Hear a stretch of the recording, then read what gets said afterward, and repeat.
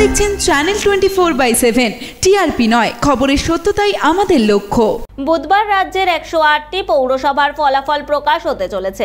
এর মধ্যে রয়েছে উত্তর ব্যারাকপুর পৌরসভা। সেই পৌরসভার তেইশটি আসনের মধ্যে তেইশটি আসনেই জয়লাভ করবে তৃণমূল কংগ্রেস প্রার্থীরা। সংবাদ মাধ্যমের মুখোমুখি হয়ে ইছাপুরে এমনটাই দাবি করলেন উত্তর ব্যারাকপুর পৌরসভার বিদায়ী পৌর প্রশাসক মলয় ঘোষ। উন্নয়ন মাননীয় মুখ্যমন্ত্রী মমতা বন্দ্যোপাধ্যায়ের উন্নয়ন। এবং সংগঠন অভিষেক বন্দ্যোপাধ্যায়ের যুব সংগঠন মহিলাদের ঐকান্তিক প্রচেষ্টা সব মিলিয়ে আমরা একদম তেইশটা ওয়ার্ডে তেইশটাতেই আশাবাদী। মানুষ আমাদের ভোট দিয়েছে। ফ্রি অ্যান্ড ফেয়ার ইলেকশন হয়েছে আমরা জিতব। বিরোধীরা তো বেশ কিছু অভিযোগ অভিযোগ তো কিছু থাকেই। একটা ফুটবল খেলা হয় একটু ফাউল হয় সব কিছু হয়।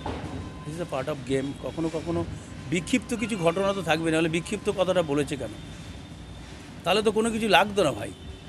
তাহলে অ্যাডমিনিস্ট্রেশন লাগতো না, কোনো কিছু লাগতো না, সব কিছু হয়ে যেত একদম। এটা তো হয় না।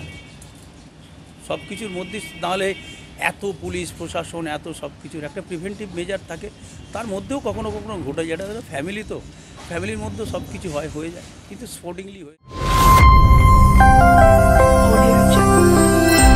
আপনারা দেখছেন channel twenty four by seven TRP নয় খবরের সত্যতাই আমাদের লক্ষ্য।